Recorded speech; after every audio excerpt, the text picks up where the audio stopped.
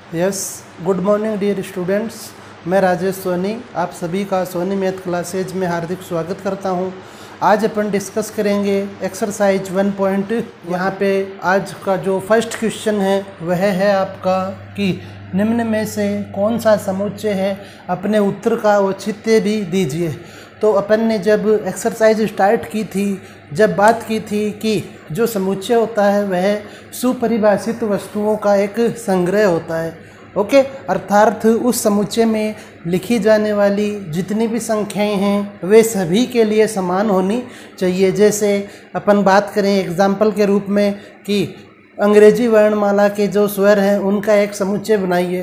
तो आप किसी के भी द्वारा यह समुच्चय बनवाएँगे तो वह उन समुच्चय में, उस समुच्चय में ए, ई आई, ओ, यू ही लिखेगा, ओके? इसके अलावा कोई भी संख्या नहीं लिखी जाएगी। तो अर्थात, जब किसी समुच्चय में अवयव निश्चित होते हैं तो उसे अपन समुच्चय कहेंगे। अदरवाइज़ जो है समुच्चय नहीं कहलाएगा। जैसे फ़र्स्ट पार्ट क्वेश्चन है इसका। जे अक्षर से प्रारंभ होने वाले वर्ष के सभी महीनों का संग्रह, ओके? तो यहाँ पे अपन यह लिख सकते हैं कि जे से कौन कौन से माह स्टार्ट होते हैं साल के तो यह एक समुच्चय है ओके क्योंकि यहाँ पे आप लिख सकते हैं, यदि अपन मान लीजिए इसे ए के द्वारा डिनोट करें तो यहाँ पे आप जे से स्टार्ट होने वाले, जैसे जनवरी आएगा यहाँ पे, इसके बाद में जून होगा। इसके बाद में जुलाई होगा। ओके? तो ये जो मंथ है, ये आपके जैसे स्टार्ट होते हैं तो ये सभी आपके यहाँ पर एक निश्चित अवयव है, इस समूचे में लिखे जाने वाले तो इसलिए यह एक समुच्चय होगा ओके नेक्स्ट अब अपन बात करें यदि सेकंड क्वेश्चन की। भारत के दस सबसे अधिक प्र, प्रभावशाली लेखकों का संग्रह। तो यहाँ पर जो दस प्रभावशाली लेखक है वे अलग अलग व्यक्तियों के अनुसार अलग अलग हो सकते हैं। तो इस समुच्चय में कोई निश्चित दस व्यक्ति ही नहीं आएँगे। सभी के लिए वे अलग अलग हो सकते हैं तो इसलिए यह एक समुच्चय नहीं होगा। ओके?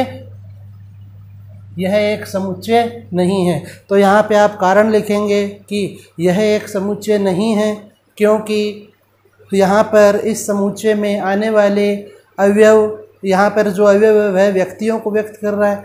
तो जो अवयव हैं, वे सभी व्यक्तियों के लिए उनकी राय के अनुसार अलग अलग होंगे। ओके? नेक्स्ट आप देखें थर्ड विश्व के सर्वश्रेष्ठ ग्यारह बल्लेबाजों का संग्रह। तो यह भी एक समुच्चय नहीं है, ओके? क्योंकि सर्वश्रेष्ठ ग्यारह व्यक्तियों को लिखने के लिए आपको सभी क्रिकेटर्स जो हैं, उनकी डिटेल्स पता होनी चाहिए। और ऐसा पॉसिबल नहीं होता है कि हमें सभी की डिटेल्स वे मालूम हो। तो ये भी अलग अलग व्यक्तियों के लिए अलग अलग हो सकते हैं। तो इसलिए यह भी आपका एक सुपरिभाषित समुच्चय नहीं है। ओके? नेक्स्ट है आपकी कक्षा के सभी बालकों का संग्रह। ओके? तो यदि आपसे कहा जाए कि आपकी कक्षा के विद्यार्थियों के नाम लिखिए आप एक समुच्चय के रूप में। तो आपकी कक्षा में कोई भी विद्यार्थी हो, उससे यदि आप ये समुच्चय बनवाएँगे तो वो सभी विद्यार्थियों का नाम लिखेगा।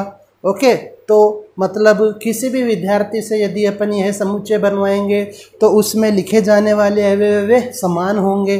तो इसलिए यह एक समुच्चय है। ओके? तो आपको साथ में इनके कारण भी लिखने हैं। मैं जो बोल रहा हूँ, वे आप साथ साथ में लिखें यहाँ पे। नेक्स्ट है, सौ से कम सभी प्राकृत संख्याओं का समुच्चय ओके संग्रह। तो यहाँ पर भी यह एक निश्चित वैल्यू ही आएगी यहाँ पे। जैसे मान लीजिए, यदि अपन यहाँ पे लिखें तो सौ से छोटी प्राकृत संख्या होनी चाहिए। अब प्राकृत संख्याएँ वे एक से स्टार्ट होती है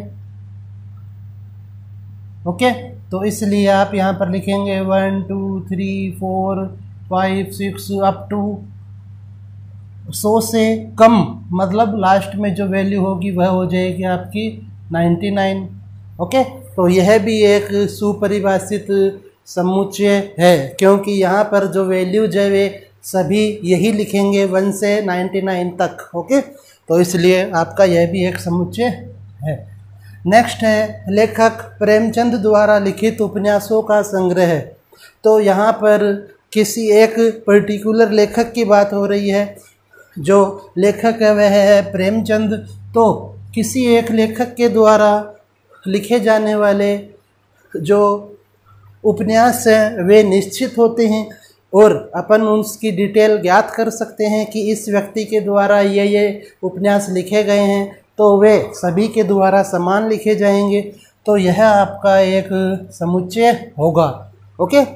नेक्स्ट है, सभी संपूर्णांक संख्याओं का संग्रह।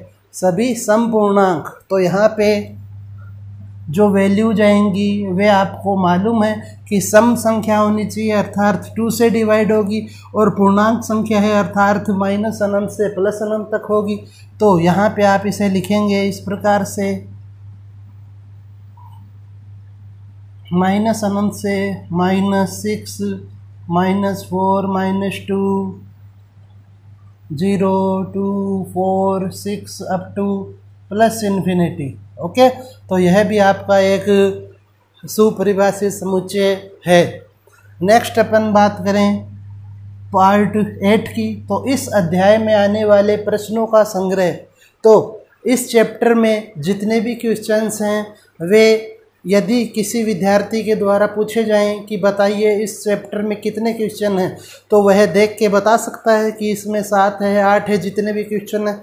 इसी प्रकार यदि किसी अन्य विद्यार्थी से पूछा जाए तो वह भी यही बात बताएगा। तो मतलब जो उनकी जो बात है, वह निस कांस्टेंट आ रही है, यहाँ पे समान होनी चाहिए वैल्यू जो है तो इसलिए यह भी आपका एक सुपरिभाषित संग्रह ओके मतलब समुच्चय वही होगा जिनमें सभी व्यक्तियों के लिए राय है, वह समान हो ओके नेक्स्ट विश्व के सबसे अधिक खतरनाक जानवरों का संग्रह है। तो यह एक समुच्चय नहीं है, क्योंकि इसके बारे में आप तभी बता सकते हैं जब आपको इस विश्व में जितने भी जा, खतरनाक जानवर हैं, उन सभी की जानकारी हो। बट यह पॉसिबल नहीं है कि इस पृथ्वी पर जितने भी जानवर हैं, उन सभी की हमें जानकारी हो। ओके तो इसलिए यह भी आपका एक सुपरिभाषित समुच्चय नहीं है, क्योंकि अलग अलग व्यक्तियों के द्वारा अलग अलग नाम बताए जाएँगे। तो मीन्स जो चीज़ें हैं, वे डिफरेंट डिफरेंट आ रही है। तो इसलिए यह एक समुच्चय नहीं है। समुच्चय होने के लिए जो वैल्यूज़ हैं, जो चीज़ें हैं, वे समान होनी चाहिए सभी के लिए। ओके ये आपके कुछ एक एक्स्ट्रा क्वेश्चन है, इनको, इनकी सहायता से भी आप इसे समझ सकते हैं।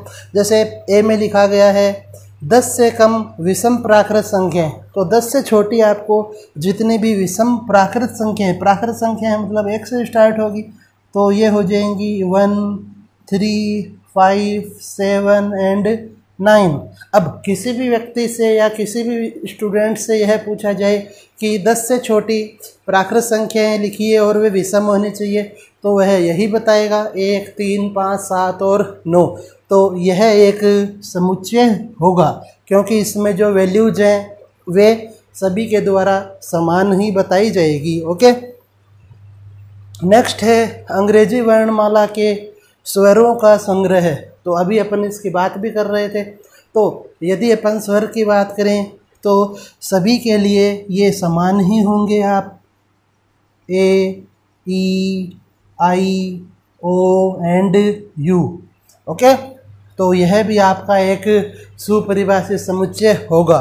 नेक्स्ट है, दो से भाज्य, उन संख्याओं का संग्रह जो पंद्रह से छोटी है ओके तो आप देखें यहाँ पे और आप चाहें तो आप इसे ऐसे भी लिख सकते हैं, उन प्राकृत संख्याओं का संग्रह।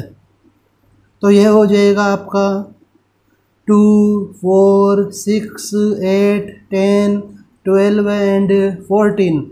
और ये जो वैल्यूज़ है, ये सभी के लिए कांस्टेंट रहेगी, सभी के द्वारा यही वैल्यूज़ लिखी जाएगी। तो इसलिए यह भी आपका एक सुपरिभाषित समुच्चय होगा, ओके?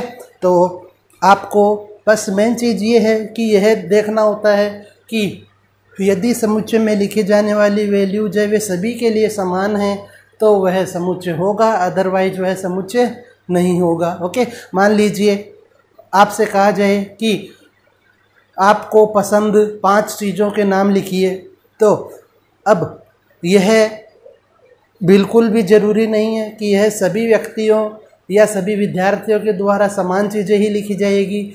अलग अलग होंगी उन सभी की राय तो इसलिए इसे भी अपन एक सुपरिभाषित समुच्चय में शामिल नहीं करेंगे, ओके? तो आपको यहाँ से क्लियर हो गया होगा ये। अब आप देखें नेक्स्ट क्वेश्चन नंबर टू तो इसमें हमें दिया हुआ है कि मान लीजिए ए एक कोई समुच्चय है जिसमें एक से लेकर छः तक के अवयव दिए हुए हैं तो आपको उपयुक्त प्रतीक है, इन रिक्त स्थानों में भरना है, ओके? तो सबसे पहले आपको इसके बारे में मालूम होना चाहिए कि यह जो प्रतीक है, यह जो सिंबल है, यह किस लिए यूज़ में आता है ओके तो सबसे पहले अपन इसके बारे में डिस्कस कर लेते हैं। तो जो यह प्रतीक होता है, इसको अपन बोलते हैं एप्साइलन ओके इसका नाम होता है एप्साइलन और यह जो चिन्ह होता है, यह समुच्चय में उपस्थित या समुच्चय के अवयवों के साथ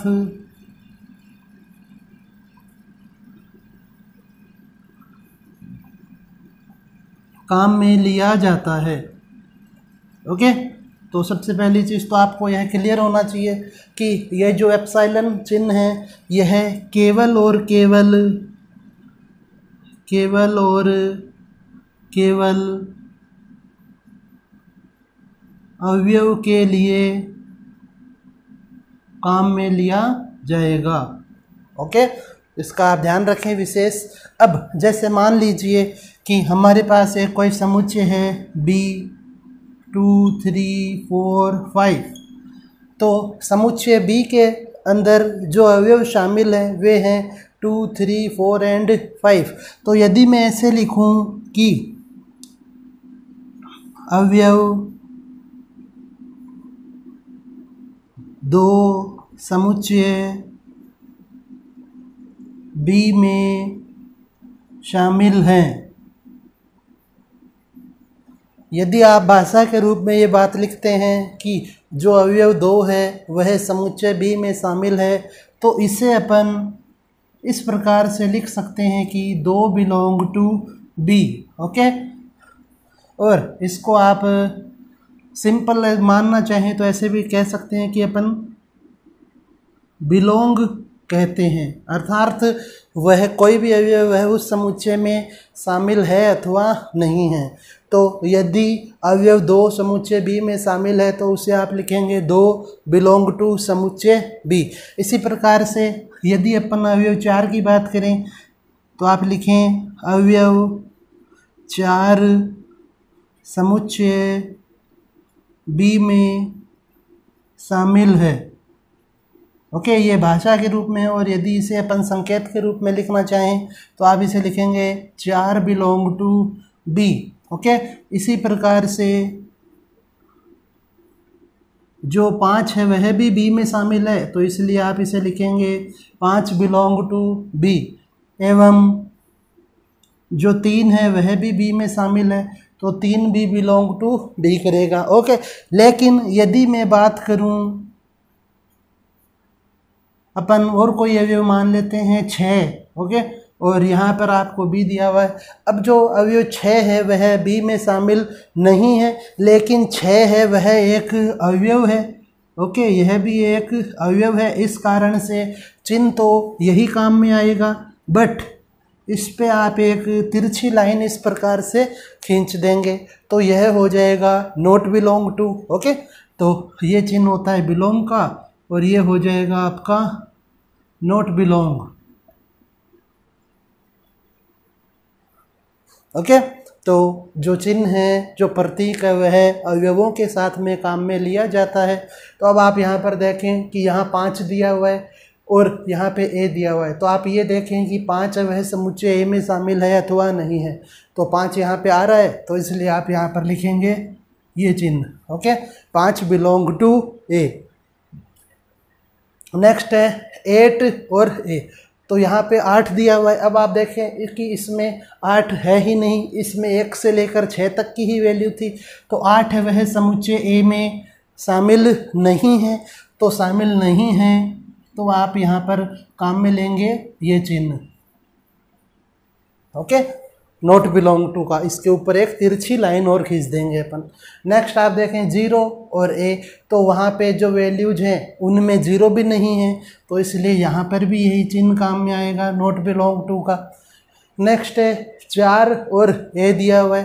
तो चार वह समुच्चय ए में शामिल है। तो इसलिए आप यहाँ पर लिखेंगे बिलोंग ओके नेक्स्ट दो तो दो भी वहाँ पे उपस्थित है तो इसलिए यहाँ पर भी यही आएगा कि दो है, वह बिलोंग करेगा ए से ओके नेक्स्ट आप देखिए दस तो वहाँ पे लास्ट वैल्यू जो है, वह सिक्स है, और यहाँ पे दस दिया हुआ है तो दस इस समूचे में नहीं है तो आप यहाँ पर लिखें ten not belong to A okay तो इस प्रकार से आपको ये जो एप्साइलन का जो चिन्ह होता है, उसका मालूम होना चाहिए। तो एप्साइलन का जो चिन्ह है, वह समुच्चय में दिए गए अवयवों के लिए काम में लिया जाता है। यदि वो जो अवयव वह उस समुच्चय में शामिल है तो आप बिलोंग टू का चिन्ह लगाएँगे, एप्साइलन का चिन्ह लगाएँगे, और यदि कोई अवयव समुच्चय में शामिल नहीं हो तो आप एप्साइलन के चिन्ह पे एक तिरछी लाइन का प्रयोग करेंगे। ओके? तो आप इसे नोट कर लीजिए। यस? अब अपन देखते हैं क्वेश्चन नंबर थर्ड। तो क्वेश्चन नंबर थर्ड में आपको दिया हुआ है कि दिए गए समुच्चय निर्माण रूप को रोस्टर रूप में लिखिए, ओके? अर्थात जो वैल्यूज़ हैं, उन्हें आप कोमा के द्वारा पृथक करके लिखेंगे। तो फ़र्स्ट पार्ट देखें कि ए में दिया हुआ है आपको एक्स एक्स एक पूर्णांक है, ओके? और एक्स की जो वैल्यू है, वह, इसका जो अर्थ है, यह होता है कि एक्स का मान माइनस तीन से बड़ा एवं सात से छोटा है। ओके? क्योंकि यहाँ पे बराबर का चिन्ह नहीं दिया हुआ है इसमें। तो यदि अपन इसकी बात करें तो इसका अर्थ होता है एक्स वह माइनस तीन से बड़ी एक संख्या। कल अपन ने बात की थी कि जो साइड ओपन होती है, उस तरफ़ की वैल्यू हमेशा बड़ी होती है। तो एक्स वह माइनस तीन से बड़ा है और एक्स वह सात से छोटा है। अर्थात जो एक्स की वैल्यू है, वह माइनस तीन से सात के बीच में होगी। ओके? तो इसलिए यहाँ पर जो वैल्यूज़ हैं, वे आएँगी minus two, minus one zero, one, two, three, four, five and six. Okay? जो एक्स की वैल्यू है, वे आपको लेनी है माइनस तीन से बड़ी वैल्यू और सात से छोटी वैल्यू। तो यदि आप इसे संख्या रेखा पे व्यक्त करें, इस प्रकार से मान लेते हैं, ये माइनस तीन है, माइनस दो, माइनस एक, zero, one, two, three four, five, six and ये मान लेते हैं सेवन। तो हमें एक्स की जो वैल्यू लेनी है वह माइनस तीन से तो बड़ी है, इस तरफ़ होगी और सात से छोटी है मतलब इस तरफ़ होगी तो वैल्यूज़ जो हैं वे आपकी आएँगी ये माइनस दो से लेकर प्लस छः तक ओके तो ये वैल्यूज़ हमें यहाँ पे लिखनी थी तो ये आपका समुच्चय होगा। नेक्स्ट है एक्स एक्स संख्या छः से कम एक प्राकृत संख्या है तो एक्स वह एक वैल्यू है, वह छः से छोटी है और साथ में वह जो संख्या है, वह एक प्राकृत संख्या है ओके तो अर्थात प्राकृत संख्या अब आपको मालूम होना चाहिए, अपन ने डिस्कस किया था यह फ़र्स्ट लेक्चर में कि प्राकृत संख्या है, वे एक से स्टार्ट होती है और प्लस अनंत तक जाती है। तो हमें केवल वे ही लेनी है संख्याएँ जो छः से छोटी है। तो इसको आप इस प्रकार से लिखेंगे one two three four and five okay क्योंकि छः से छोटी वैल्यू लेनी है तो एक से लेकर पाँच तक की वैल्यूज़ होंगी यहाँ पे। नेक्स्ट है, समुच्चय सी तो ये जो दिया हुआ है, आपका भाषा के रूप में लिखा हुआ है तो समुच्चय निर्माण रूप है तो अब आप देखें इसे। एक्स दो अंकों की एक ऐसी संख्या है, जिसके अंकों का योग आठ है। ओके जो हमें संख्या लेनी है, वह दो अंकों की होनी चाहिए, और उसके अंकों का योग आठ होना चाहिए। जैसे यदि अपन लें सत्रह। तो एक और सात को ऐड करने से आपको आठ मिल रहा है। ओके, जैसे सत्रह लिया आपने तो वन प्लस सेवन करेंगे तो एट होगा। यदि छब्बीस लेंगे तो टू प्लस सिक्स करेंगे तो भी एट होगा। तो इस प्रकार से जितनी भी वैल्यूज़ हैं पॉसिबल, वे सभी आपको यहाँ पे रखनी है। तो सी में आप लिखेंगे, दो अंकों की संख्या होनी चाहिए मतलब फ़र्स्ट वैल्यू होगी सेवनटीन इसके बाद होगी ट्वेंटी सिक्स, इसके बाद होगी नेक्स्ट थर्टी फाइव, इसके बाद होगी फोर्टी फोर, इसके बाद में fifty three, sixty two, next हो जाएगी सेवेंटी वन और लास्ट वैल्यू हो जाएगी आपकी एट्टी ओके, क्योंकि एट्टी भी दो अंकों की संख्या है और इसके अंकों को जोड़ने पे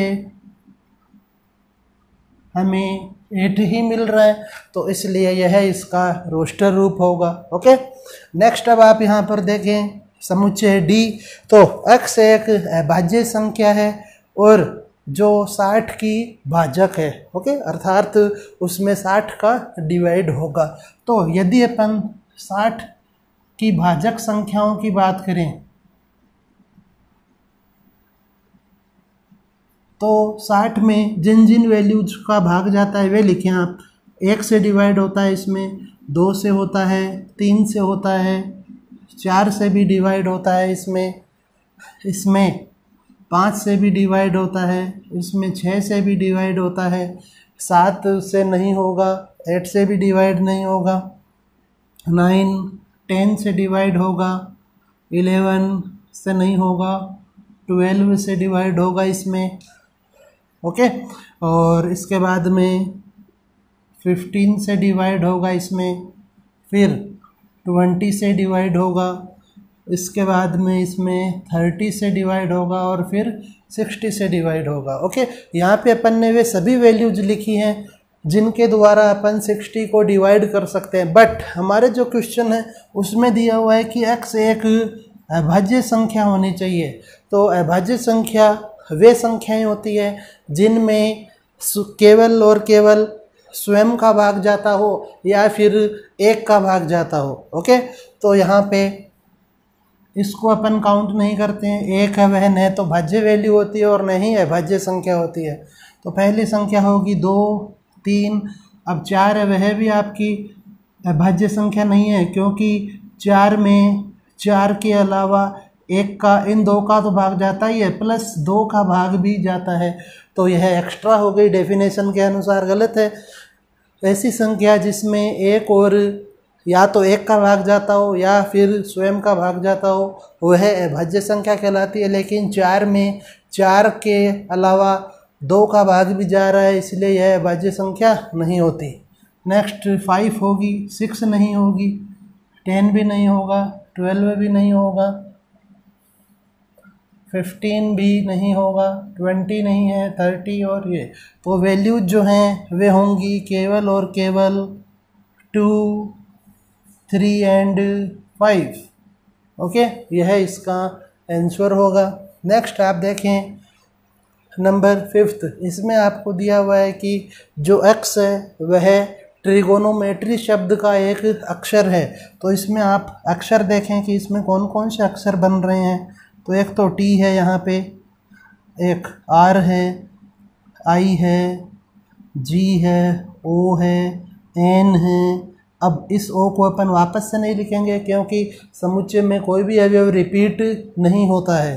नेक्स्ट आ जाएगा आपका एम उसके बाद में नेक्स्ट हो जाएगा ई e, टी को आप लिख चुके हैं पहले तो टी भी नहीं आएगा आर भी आ चुका है पहले और एक हो जाएगा वाई तो यहाँ पे आप लिखेंगे E is equal to T R I G O N M और ई वाई ओके यह आपका समुच्चय ई होगा रोस्टर रूप में।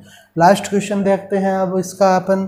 तो लास्ट में आपको दिया हुआ एफ़ वह बेटर शब्द के सभी अक्षरों का समुच्चय है। तो यहाँ पर भी आप देखें कि यहाँ से अपन इसमें जो भी अक्षर हैं, वे काउंट करते हैं। बी ई टी और आर क्योंकि यह टी काउंट नहीं होगा और यह ई काउंट नहीं होगा, क्योंकि एक वैल्यू है, वह एक ही बार लिखनी होती है। आपको सेम वैल्यू को रिपीट नहीं करते। तो आप लिखें, अतः F is equal to B E T and R okay तो यह आपका क्वेश्चन नंबर थर्ड था। इसमें हमें जो भी समुच्चय निर्माण रूप में वैल्यू दी हुई थी, उन्हें रोस्टर रूप में लिखना था तो इजी क्वेश्चन था ओके तो इसे आप अच्छे से नोट कर लें और यदि आपको कोई प्रॉब्लम हो तो आप मेरे से डिस्कस भी कर सकते हैं ओके धन्यवाद।